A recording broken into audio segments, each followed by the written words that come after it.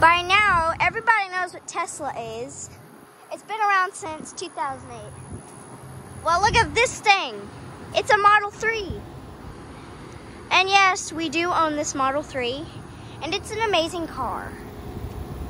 Got all that, we got there, and we got the door handle. But a lot of people don't know how to open a Tesla door. So pretty much just press that, do that, pull that, open up, and get in. Now, Teslas are electric, so you need to use one of these right here. And it only takes about 10 to 15 minutes to charge one of these.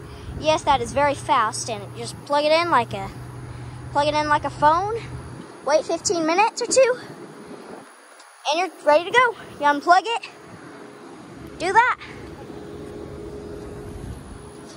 And my mom is unplugging it now because it is ready. Press the button, the Tesla turns, the Tesla thing turns blue. You plug it up in there, and it closes on its own. You get in, put it in drive, and you're ready to go. And okay, guys, that's how pretty much what a Tesla is and how to basically use it. Bye, guys.